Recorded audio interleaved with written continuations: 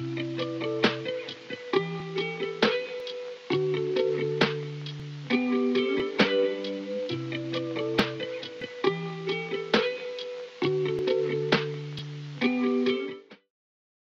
what's up? Episode 5. Nandito ako ngayon sa Kalinawan Cave.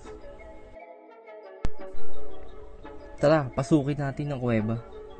Tinawag itong Kalinawan Cave dahil dito nagkalinawan at nagkasundo ang mga Pilipino at Amerikano laban sa mga Kastila.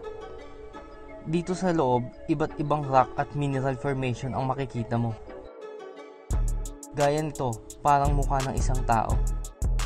Ito naman, parang altar Ayon kay Kuya James na guide ko, meron ng foreign couple na nagpakasal dito. Heto naman ang halimbawa ng isang mineral formation, ang stalagnate or sinter column.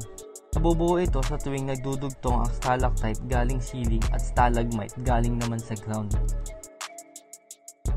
Libong taon ang tinatagal bago mabuo yung mga ganito. Kaya wag na wag natin silang hahawakan. Dahil ang langis sa katawan natin ay pwedeng makasira sa mga ito.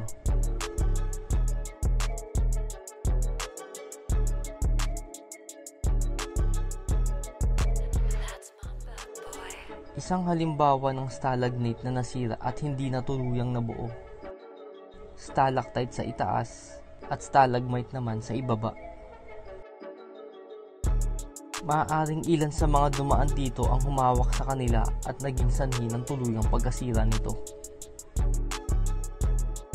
Ang mga butas naman na to ay dating tirahan ng mga fruit bats. Pero dahil nga laging dinadaanan ng mga tao, kaya umalis at naghanap sila ng bago nilang paglulunggaan.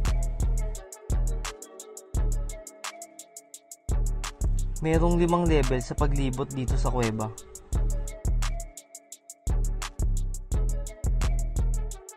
Sa level 1 at 2, makakapaglakad ka ng nakatayo hanggang makalabas ka.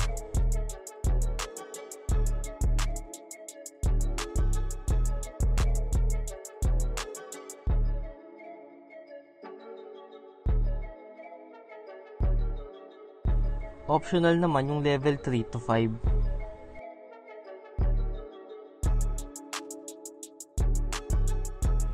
Kung saan kailangan mong yumuko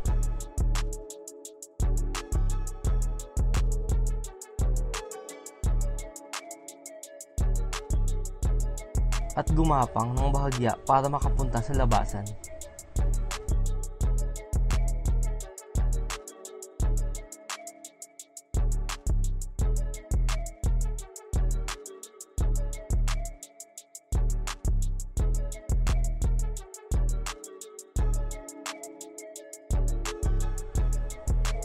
Ayan na yung mga fruit bats.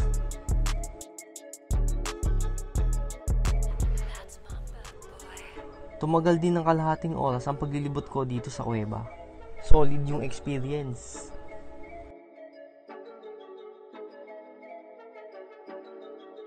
Sa mga pupunta dito, alam nyo na, sundin natin yung mga patakaran para hindi masira yung ganda ng kuweba.